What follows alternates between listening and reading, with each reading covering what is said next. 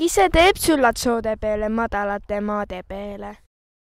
külm teeb süllad soode peale madalate maade peale. kas külmapoisid elavad siis Kopli metsas? ju nad siis elavad, kui siis edasi üteldud on. on siis talitee nii kena, et isegi suured härrad sedamööda sõitva tahtvad? muidud on kena.